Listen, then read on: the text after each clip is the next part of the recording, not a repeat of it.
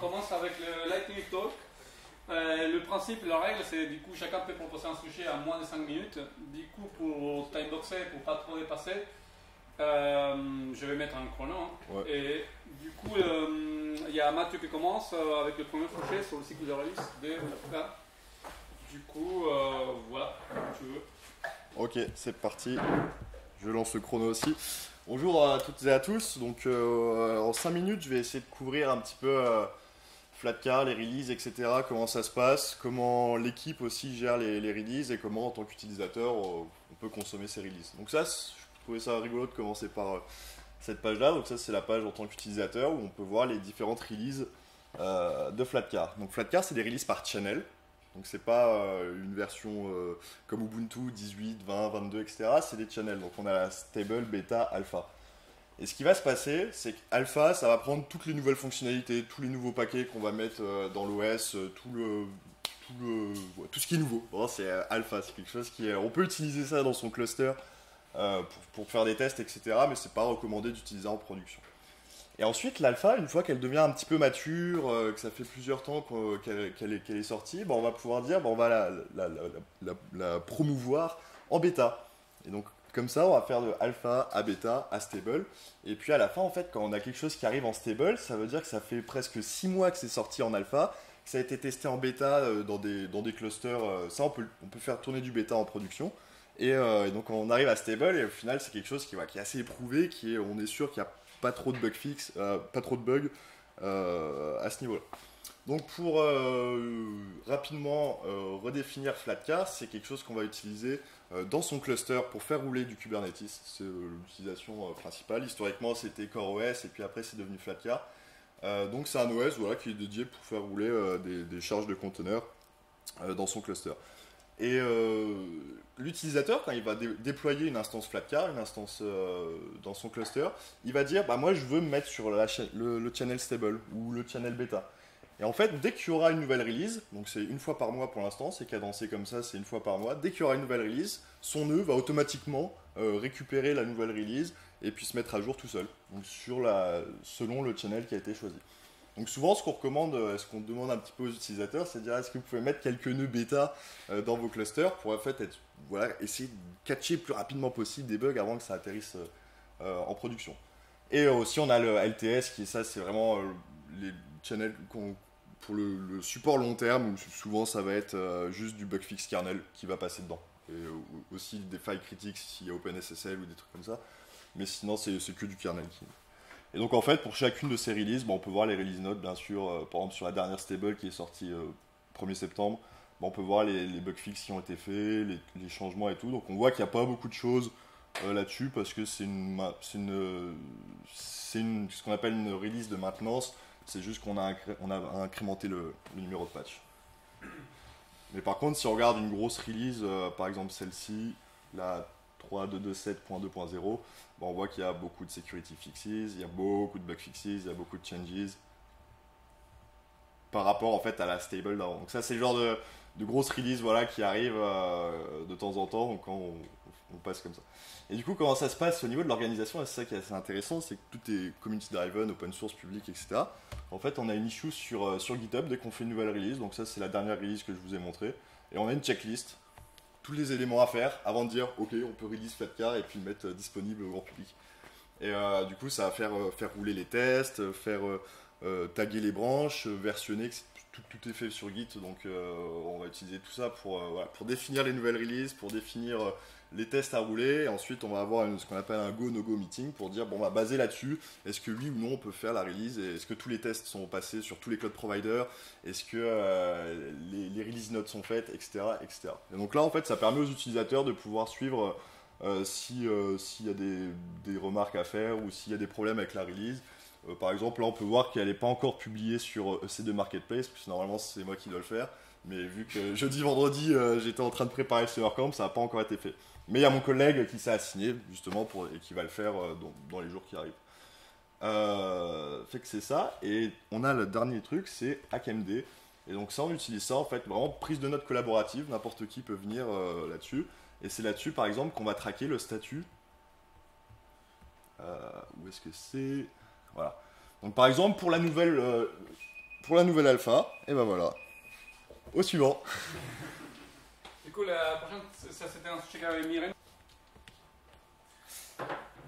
C'est parti? Alors, on va le faire en très très rapide. Donc, Mepi, Mepi Tizi. Euh, donc, euh, vous connaissez, la présentation date de 2018, donc euh, c'est c'est super vieux. Donc, on parlait déjà des podcasts. Et ouais, j'avais créé aussi un moment, donc un truc qui ressemblait un peu à ce qu'on fait là. C'était une semaine au Club Med entre SRE. Euh, donc voilà, j'avais appelé ça le symposium parce que je trouvais ça marrant. Euh, donc déjà, DevOps, la définition de... euh, Donc là, on va, on va revenir un peu aux bases. DevOps, qu'est-ce que c'est? Donc euh, on peut le représenter comme l'association des devs et des ops, euh, un truc comme ça, euh, classique. On peut même y rajouter un peu de sécurité. Il y a des gens qui le représentent même en rajoutant la QA, le développement, enfin le lien entre tout ça. Il y a des gens même qui ont ce genre de présentation-là. On peut même parler à partir des outils, des, euh, des, des influences. On peut, enfin voilà, euh, on peut avoir vraiment une tonne de définitions. Vous voyez, tout ça, c'est les choses que je suis allé récupérer à l'époque et je pense que ça existe encore. Voilà, la DevOps culture. J'adore ce truc. Vous voyez, il est dans toutes mes diapos, même il y a très longtemps. Euh, le point important, c'est que quand on a des mauvaises définitions, on arrive forcément à des mauvaises décisions. Aussi bien pour embaucher euh, que pour notre dette technique, de savoir ce qu'on doit en faire. Une définition en fait qui arrive euh, très vite, euh, et ça c'était une définition de quelqu'un de chez Amazon, c'est que le, DevOps est défini d'abord par ses objectifs.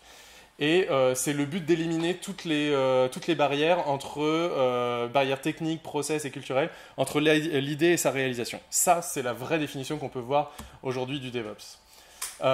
Pour me baser sur un framework, je, suis basé sur les- un article euh, donc qui est assez vieux, les trois, trois étapes euh, de, la maturité DevOps, qui se base en fait sur les quatre, euh, états de la compétence. En fait, c'est une théorie des années 70 qui définit que la compétence, elle s'acquiert au fur et à mesure en passant par quatre états. Et en fait, quelle que soit la compétence, que, quel que soit ce que vous voulez faire, vous passez d'abord par l'état, vous ne savez même pas ce que c'est que marcher, puis à un moment, vous apprenez à marcher, vous savez que vous ne savez pas marcher, puis après, vous savez que vous savez marcher, et après, vous avez complètement oublié le même le fait que vous savez marcher. Globalement, je résume assez vite. Appliqué au DevOps, euh, le stage 0, c'est euh, je ne sais même pas ce qu'est le DevOps. Je, je, je, je, même je, euh, nie l'utilité du DevOps. Ça se, ça se caractérise par plein de points après quand on est, quand on est dans le monde réel. Ça se représente comme ça si on veut. L'étape 1, c'est le tooling. Le tooling, donc là on fait de l'automation, on fait de la CI, on fait des trucs comme ça, on fait du monitoring, alors là on adore ça. C'est l'étape que j'appelle automation for the sake of automation. Euh, et donc, euh, à la fin, on arrive à des spaghetti scripting, euh, des, des build chains complètement instables. on n'a rien d'ISO prod, on ne sait même pas comment le faire, etc. Ça, c'est quelque chose, si jamais vous vous reconnaissez là-dedans, c'est que vous êtes au stage 1. Ça se représente un peu comme ça. Souvent, même, on va créer des équipes DevOps pour ce genre de choses-là. Ou alors, on va dédier des, des, des ops à ça. Ou on va dédier des ops. Mais globalement, on a toujours les mondes en fait, qui sont complètement décorrélés.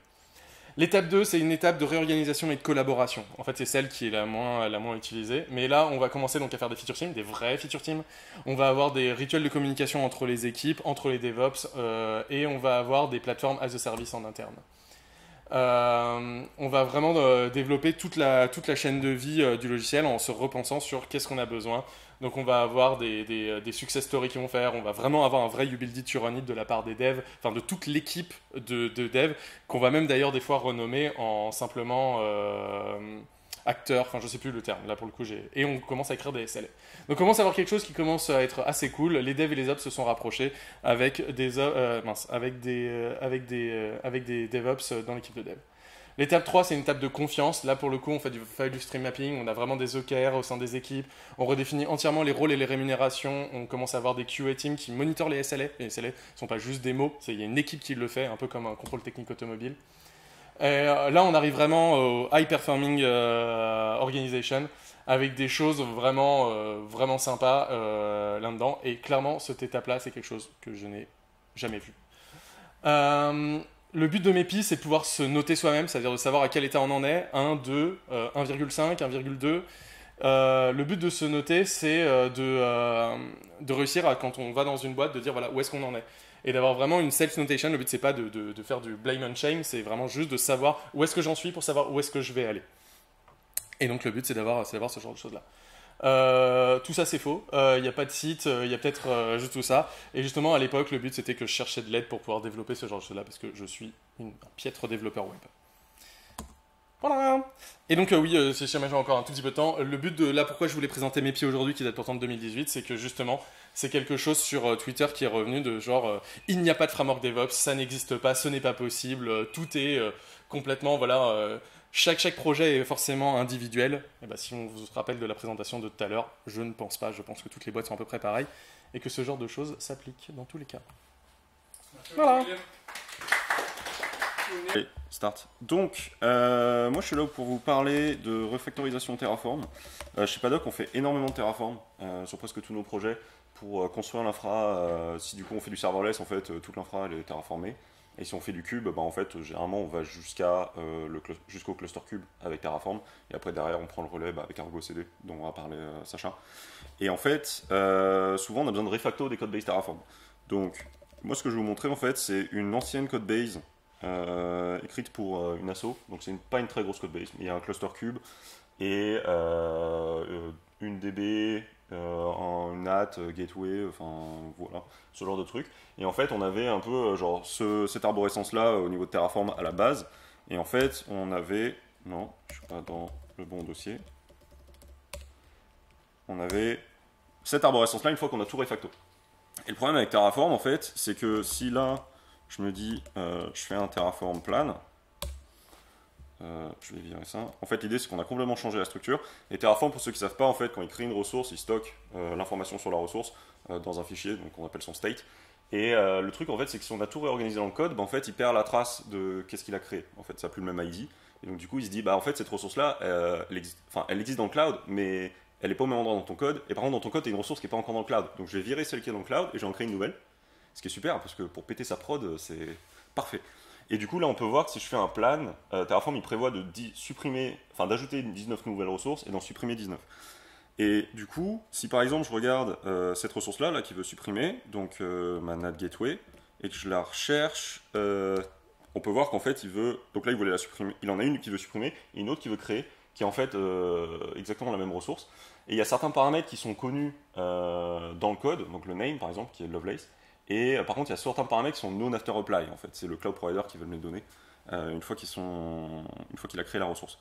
Et du coup, moi, ce que je suis censé faire, en fait, c'est dire à Terraform, euh, bouge la ressource dans ton state de tel endroit à tel endroit, et comme ça, il est au courant qu'il n'y a pas de changement à faire. Avant Terraform 1.1, ça se faisait manuellement, Terraform, state, NV, l'ancien ID, le nouvel ID. Aujourd'hui, on peut le faire déclarativement avec du code, en, en définissant ce qu'on appelle un move blocks. En gros, dans le move block, il y a un from et un to, et je mets les deux adresses. Et euh, Terraform, il s'en occupe un peu comme une migration de schéma. Là, j'ai 19 move blocks à écrire. Et euh, on a des projets où euh, on en a honnêtement 300, en fait. Et c'est chiant. Et du coup, on a écrit un petit outil qui s'appelle TF Auto NV qu'on lance en fait, donc qui va lancer Terraform, donc c'est tout en bas. Il lance Terraform init, il lance le plan, donc en fait il récupère ces infos là, mais il va parser le JSON pour récupérer beaucoup plus d'informations, et il va essayer de mapper les ressources qui vont être créées à celles qui vont être supprimées pour faire le taf. Et il m'a créé 19 move blocks. Et ce qui fait que si je fais un plan, Terraform refresh son state, il va check dans le cloud que tout rien n'a changé. Et à la fin il me dit c'est bon, t'inquiète, je vais rien toucher. Donc du coup j'ai fait ma migration. C'est très bien. du coup, euh, le fichier qu'il a généré. Je sais pas combien il me reste de temps. Euh, 1 minute 45. Vas-y, ça suffit. Du coup, euh, le fichier qu'il a généré, il ressemble à ça. Donc, euh, c'est vraiment du code autogénéré, je suis pas censé le lire, euh, etc. Mais du coup, si je l'enlève, euh, Terraform AutoMV, c'est comme s'il avait rien fait, quoi. Et en fait, une fonctionnalité que moi j'aime bien, c'est donc le dry run, mais surtout de demander à Terraform AutoMV de me montrer son analyse. En fait. Parce que du coup, ils matchent des ressources. Quand elles ont le même type, c'est cool, je sais que je vais les comparer, mais j'ai plusieurs ressources dans mon infra qui, qui sont parfois. Enfin, il y a deux ressources du même type. Par exemple, j'ai deux services account ou j'ai deux node pools. Comment est-ce qu'il fait pour matcher le bon au bon? Et euh, la réponse, donc là, ça, c'est les move blocks qu'il a prévu de faire, c'est parce que j'ai mis dry run. Et euh, par exemple, dans l'analyse, en fait, je peux voir ici, bah, par exemple, que mon user SQL, j'en ai un seul, donc du coup, bah, il a matché un seul user, nickel, donc ça match. Et par exemple, ici, pour mon node pool, euh, j'en ai deux, j'en ai un qui s'appelle green, un qui s'appelle blue, bah, j'ai matché un node pool euh, qui allait être euh, supprimé, qui s'appelle aussi green et qui a exactement les mêmes paramètres en ignorant ceux qui sont non after apply. Et par contre, pour Blue, bah, j'ai vu des différences. Par exemple, euh, il n'y a pas le même paramètre pour euh, l'autoscaling, il n'y a pas le même nom, en fait, qui est déjà un identifiant unique. Et euh, surtout, il n'y a pas les mêmes labels. Et du coup, il se dit, ok, il y a des différences, en fait, ce truc-là, ça ne matche pas, je le prends pas en compte. Et si pour euh, chaque ressource, il y a un seul match, il fait un move block. Et l'idée, en fait, c'est que vous pouvez regarder son analyse, etc. Donc Terraform AutoMV, la manière dont il marche, bah, il prend les moves qu'il a déjà écrits avant en compte. Enfin, Terraform les prend en compte dans son plan, du coup, implicitement, Terraform AutoMove les prend en compte. Et euh, du coup, il est idempotent, en fait. Vous pouvez le lancer une fois, euh, corriger quelques trucs, relancer une deuxième fois, regarder l'analyse, essayer de comprendre ce qui se passe, etc. Et voilà. C'est parti? Ouais, allez. Go. Bon, ça fait à peu presque deux ans et demi maintenant que je travaille sur un système de stream processing euh, qui est inspiré d'un outil qui s'appelle Rayman, qui avait été construit par euh, Kyle, King- Kyle Kingsbury, vous connaissez peut-être sous le nom d'Afir, euh, qui travaille sur Jepsen, sur des systèmes distribués. Je contribuais beaucoup à ce projet il y a longtemps et j'ai réécrit une nouvelle version from scratch avec toutes les bonnes idées plus plein d'améliorations qui s'appelle Mirabel. Donc là, c'est la doc. L'idée, c'est de recevoir des métriques, des events, des logs, bref, plein de choses et de manière unifiée pour faire des transformations dessus. Donc du stream processing, real anama- des real time analytics ou autre, et d'avoir des conditions pour dire bah tiens si j'ai ça, boum, je fais une alerte dans PagerDuty. Mes logs, je les envoie dans Elasticsearch, mes métriques dans InfluxDB, ou bien dans InfluxDB plus Datadog. Bref, avoir euh, comme un gros routeur d'event en faisant des calculs dessus. C'était mon idée, on peut même faire du continuous query. Euh, par exemple, vous mettez dans une TSDB et ensuite euh, vous extrayez les données, vous faites du rejeu et tout est idempotent, donc vous pouvez les mêmes données en, en entrée prendront toujours les mêmes données en sortie. Voilà, ça ressemble à quoi la configuration? Euh, Ça ressemble à ça. Alors, déjà un event, ici j'ai un exemple d'event, host, euh, fou, donc euh, un, host name, service par exemple CPU usage, métrique 10, euh, CPU 1 et un TTL pour savoir combien de temps l'event est valide. C'est une map libre, vous pouvez rajouter tous les champs que vous voulez, des tags, etc.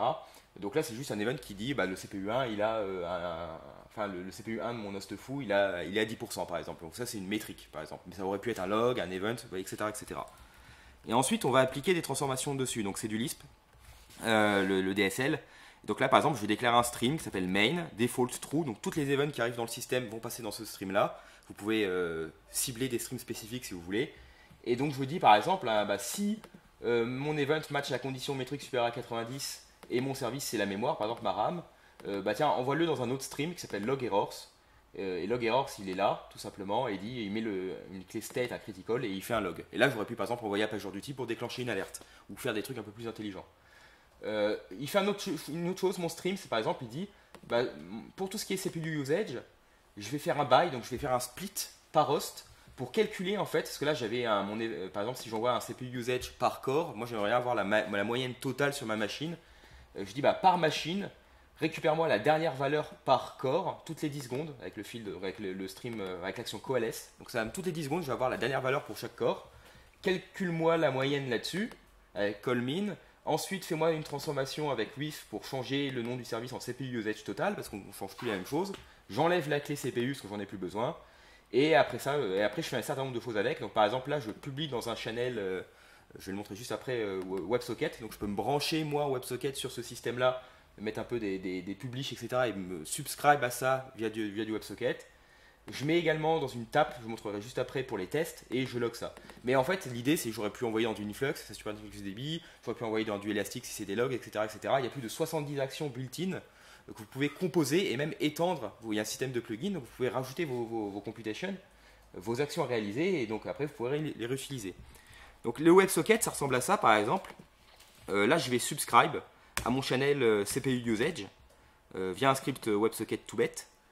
Euh, et en fait, si j'attends un peu, alors ah, j'ai mis un petit truc Go qui tourne derrière et qui envoie des events. Et on voit qu'en fait, bah, en effet, je reçois des events dans mon truc WebSocket et je calcule en fait euh, pour mon host son usage CPU euh, total euh, et j'ai bien les infos. Et ce qui est intéressant, c'est que tout est testable. Euh, vraiment, le système peut être testé unitairement, complètement. Donc là, c'est par exemple un test tout simple où je dis en, en entrée, j'ai euh, bah, des, des events de CPU, donc service CPU usage, pour un host. Et je vois par exemple que bah, là, pour le CPU 1, j'ai une consommation de 10, pour le CPU 2, j'ai une consommation de 30% pour le même host.